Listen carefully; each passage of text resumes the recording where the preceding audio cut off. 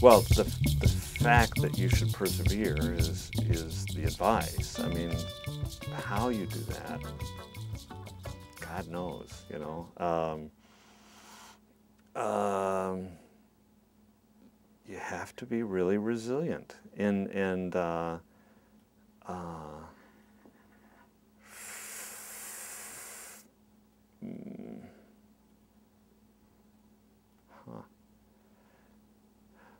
Uh, hmm.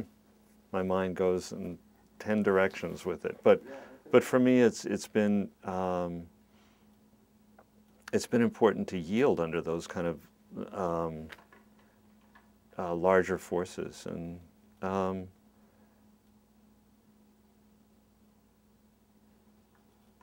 huh. Yeah, uh, I have a. Um, oh, there's a saying that's uh, invest in loss. It's uh, it's a uh, my Tai Chi teacher's saying, and uh, it's it's to gain from your losses, and and I think that's a way to sort of progress, you know, to sustain yourself and keep going. And there is a lot to it. You can learn a lot from from all the losses that you will inevitably encounter. Um, there's a lot you can learn in there. So that keeps me going.